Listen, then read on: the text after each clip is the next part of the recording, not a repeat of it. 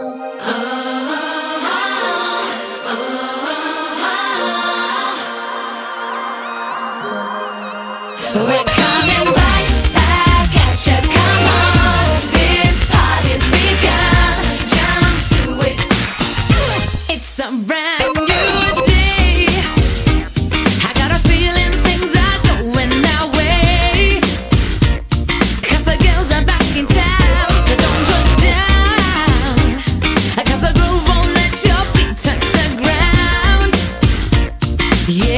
Yeah,